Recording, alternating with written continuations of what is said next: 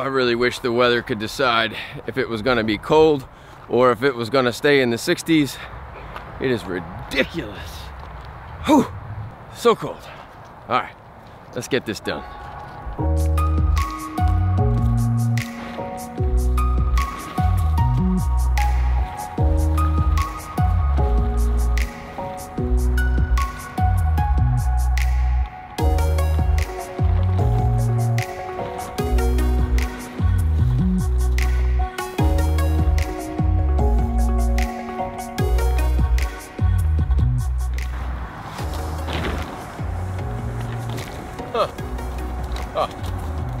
I had four.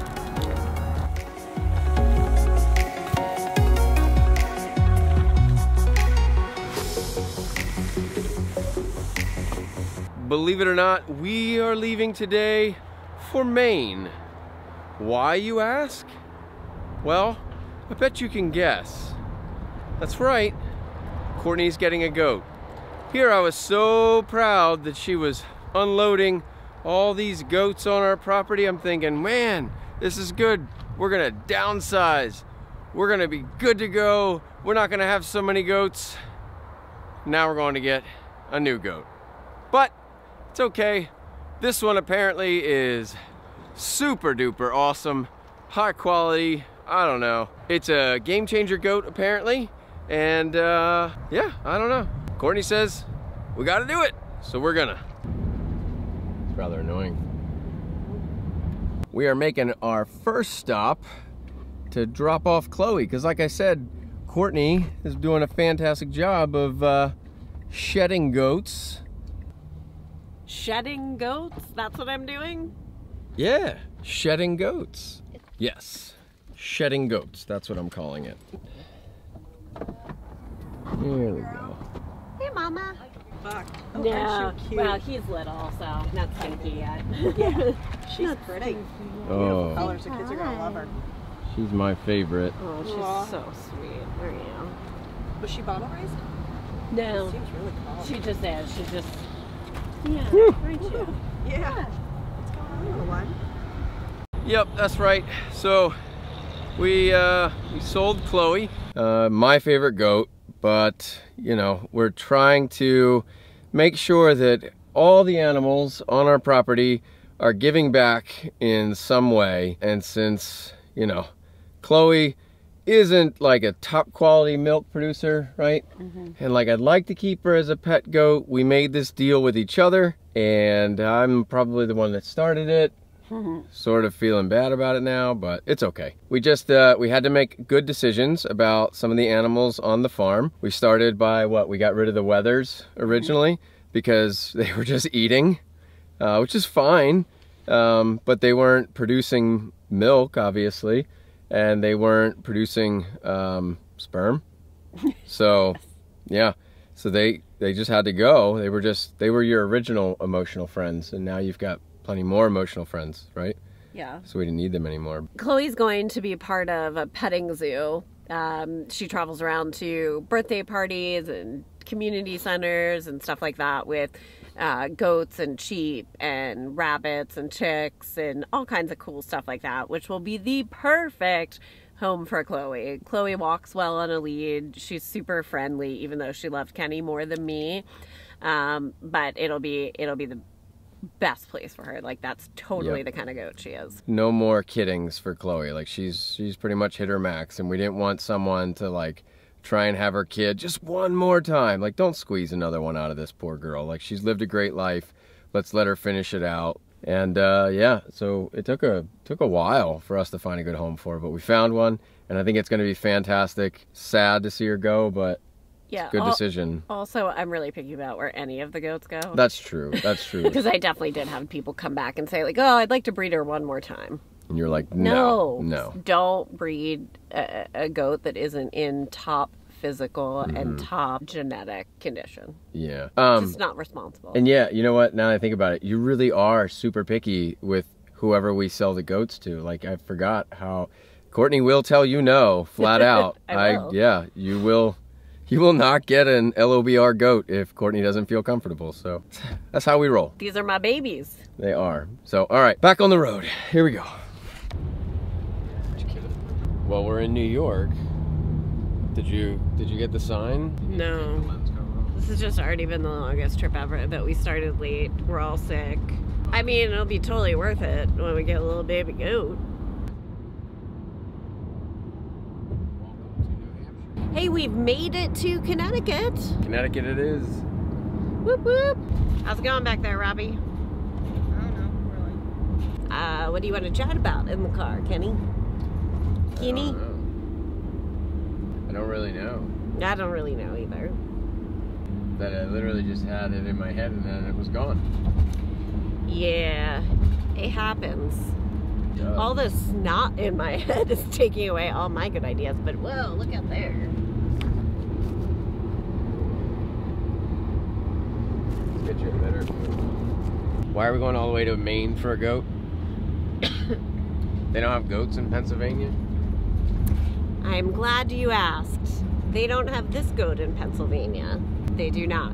If I ever find a really cool tool that they don't have in Pennsylvania, are you gonna drive with me to Maine to go get it? Yeah, I'm not going to. Uh, do you have cash? Yes. Paying for something. 150. Let's go. Jeez, hold on. Come on. Pay the toll. Whoa, whoa, whoa, whoa, whoa. Hold on. I'm getting there. Jeez, Kenny. Thank you, you too. We're in the Northeast, where there is a toll every three miles. Yeah. All right, why are we driving to Maine, Virgo? Genetic diversity, Kenny.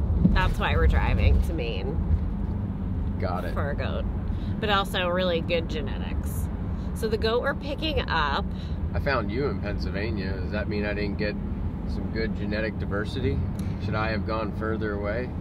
the genetics for sarcastic women in Pennsylvania are actually very, very good. So, you know, you got cream of the crop. That's true. We named this buckling Mick Fleetwood. He is from Chickadee Farms. His sire is from Old Mountain Farm, and his dam is from Feather and Scale Farm, which has a lot of similar lines to, to Old Mountain Farm. Now, when I say similar similar lines, there's still genetic diversity because Old Mountain Farm has so many goats. I am on the wait list uh, for for a pair of bucklings from Old Mountain Farm, but it'll still probably be years until that ever comes up. So we gotta drive out here again? Heck yeah, we do. You owe I me. you said year. I said years from now. Years. Like I've only I've only been on the wait list there for like a year, and it's probably a four year wait list. So You owe me. Just saying. I do. I do owe you. I love you. I love you too. Oh my. We're here. We're in Maine. You don't know where you're going? It is so cold. It's so cold. Oh my gosh. Prior to that, it was like even numbers. Oh. So yeah, we are here in Maine. We uh, we just stopped and had some dinner. Robbie had his very first Maine lobster. I guess I could say I had my first Maine lobster since I'd never been in Maine and never had lobster in Maine, right? It might have been my first Maine lobster. I don't know that I had a lobster the last time I was in Maine. Yeah. Last time, you mean like the last seven times? You've been there like seven times, maybe? One. I've been to Maine once. Didn't you hear that whole conversation at dinner where I was like, "Honey, have you ever been to Maine?" Business trip a bunch of times in Maine, or is that New York?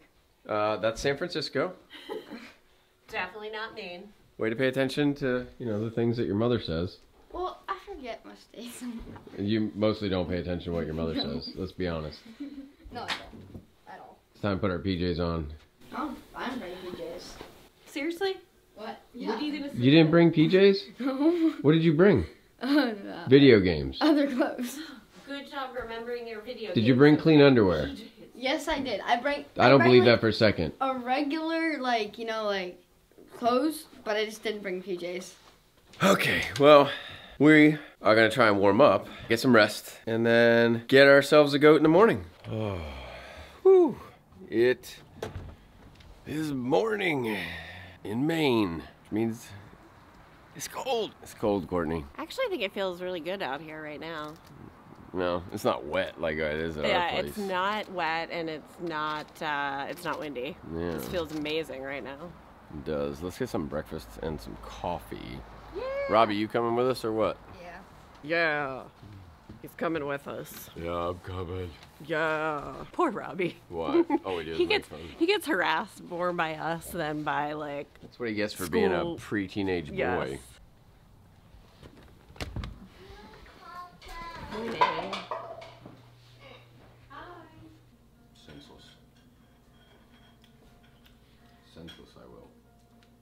All right, goat's here.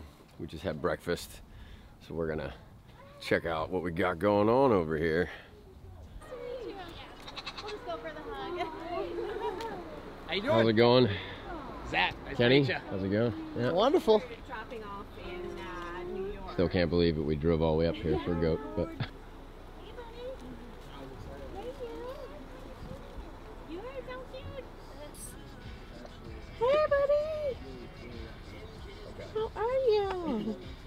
So this is Emily, and Emily is from Chickadee Farms, where we got Mick.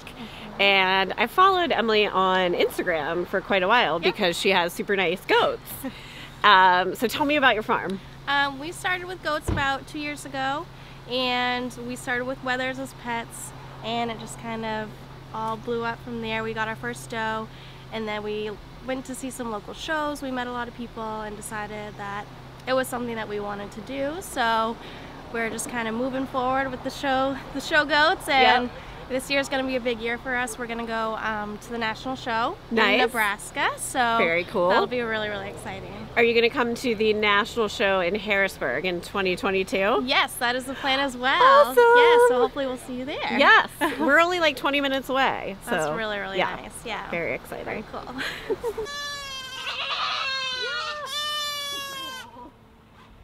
There you go. It's all better now. So dark. Courtney, why are there two goats in there? You told me we were only getting one. Okay, the other one is not mine. Are you sure? I'm sure. I don't believe you. You know I'm that, sure. right? Well, you'll believe me when we get to New York. All right, fine. This is how she does with everything. Like I didn't even know we were coming here until last Sunday after the the show. You Did generally know that I, we were coming. you here. said sometime after the farm show we're gonna have to go and pick up a goat in Maine. dump a little bit. Not like next weekend. We don't have much of one on the way there. You know what I mean? I want to. It's right. Don't you want to hang out and talk to us? kind of. We're gonna we're gonna stop in Boston. Boston. We're gonna go get a beer in, in Boston. I'll be still in Boston and I can't drink beer. I think in Boston you can. You have a chance. No, of course they can't, Kenny. I was being Oh. silly. You're so funny. I always forget how funny you are. Right. I'm gonna trade both of you in for goats. We are in New Hampshire. Woohoo! Yeah. Of course, now we're on our way back. Yeah. Not on our way to. Right. Being in New Hampshire isn't really a big accomplishment because we were like 10 feet into Maine. Yeah. There are two goats in the car. There are two goats. This has been like a really crazy. Um, I don't even know what to call this. We've been making deals in parking lots with goats. Like our first was at a Waffle House in a parking lot where we we we unloaded Chloe, and then we're in another hotel motel parking lot, roadside inn style, collecting two goats, and now we're gonna go to probably another parking lot and drop off another goat. Like this is some shady wheeling and dealing goats. Like like we're goat runners. We are goat runners. We are the Eastern Coast goat runners right now. What is it? ECGR. We are the E ECGR. Breaking the law, breaking the law. Na na na na na na na. For the record, we're not breaking any laws. not you're not even speeding. We're not e- we're not breaking any laws right now. Fans, we're not even lawbreakers. We're not lawbreakers. I'm sorry. We're not we're- breaking the law. We're legally distributing livestock We in are- parking lots. We are legally distributing livestock in parking lots. It's Still weird. It's like if you made a gang, but you never did something wrong. Just like a group of friends.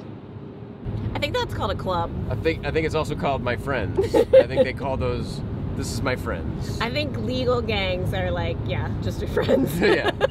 Yeah, exactly. This is my gang. We do stuff. Legal Legally. stuff. We're legal, goat gang. Gums Um, we need two dollars cash. Oh, The- okay. Okay, pause. Hold on. We are somewhere in Massachusetts and just ran into a snowstorm. We left Maine before their snowstorm arrived, and I was planning to be home after the snow was done in Pennsylvania, but I didn't account for the space in between. Yikes. Let's check on the goats. Hey guys. How's it going? How are you, great, babies? It's going great, Court. It's going fantastic. I wasn't talking to you.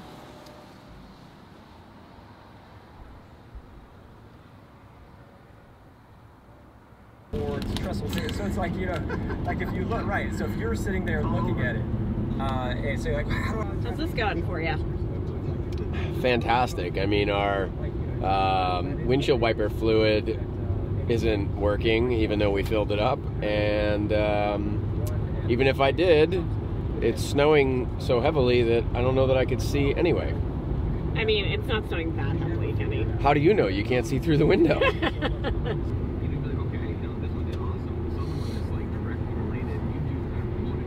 Why are you combing your beard, Kenny? Because you make me angry, and combing my beard soothes me, calms me down. Try to be peoply for once. I'm not peoply, I'm goaty. Well, that's why I'm saying be peoply for once. No. The dog became evil, and like since I couldn't kill it because it was yeah, already a ghost, and I had to find a ghost blade before I could do it to like seal the ghost away. The dog almost was there, but I had like this thing where I could like almost teleport sometimes, and I teleported away from it because if it bit you or like slashed you, you would like turn into a ghost too. Also, like your sword that like I had used two hands with, but then it turned, it could turn into like my one handed sword and a shield. So I went like that, I stabbed him and slapped him with the shield. Realized somebody recognized, like realized I was there. So I, I like ran his belly, cause I was like super fast and like teleport. I ran his belly and then like slashed his eye. Before that, he closed his eye, like somebody coming. You know, like I'm saying, he closed his eye. And, and Robbie, this all happened in your head, right? Yeah. This is why you never pay attention when I'm talking to you, isn't it? Because all this is there is an epic battle between a ghost dog and a kangaroo, and there's some swords. It all in And his head. No, this is All like in your a course head. of like five years. this has been going on for five years. yeah. Probably since I was like three or two. That's more than five years.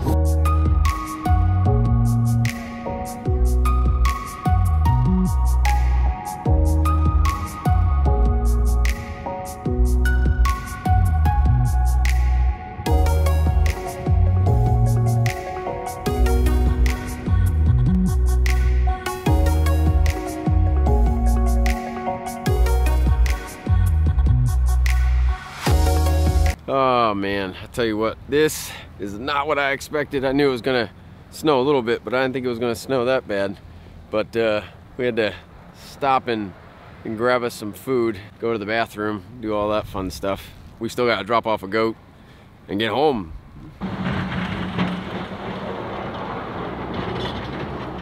We're doing pretty good on time. Uh, we've only stopped twice, once for gas and once now to go to the bathroom get some food. So after Binghamton, we've got maybe like three and a half hours left until we get home. So, all right, all right, let's go.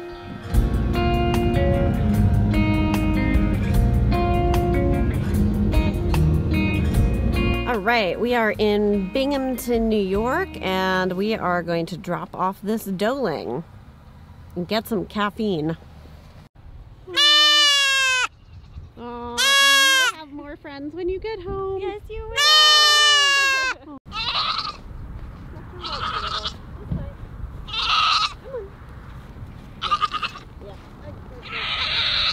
Get the leg stretches.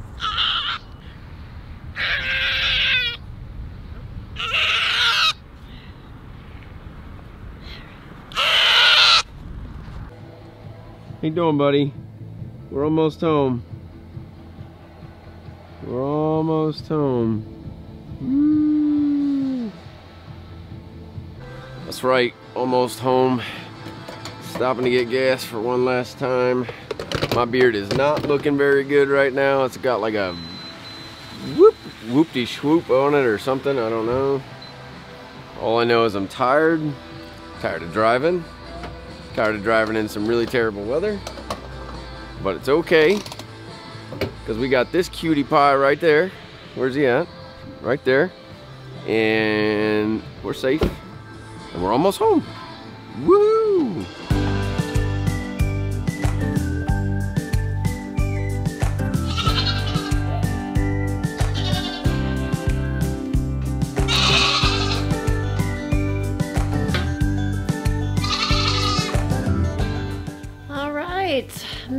Home. Hey, Mick.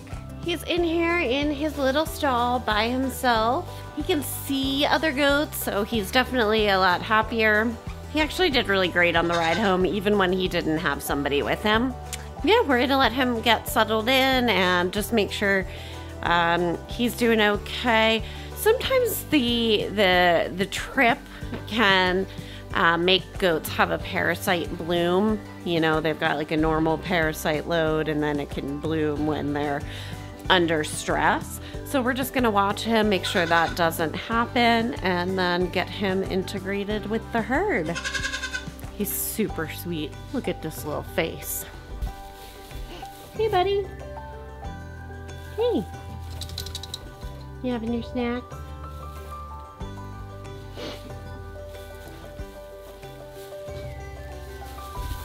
Everybody else looks great. I think Robbie and Kenny are already in bed. So much for the help, guys. But I guess they did spend like, whew, I don't know, 18 hours in a car in 24 hours, 36 hours. I don't know. It's a lot of time in a car. So I guess we'll give them credit for that. All right, folks, come back and see us next time. Bye.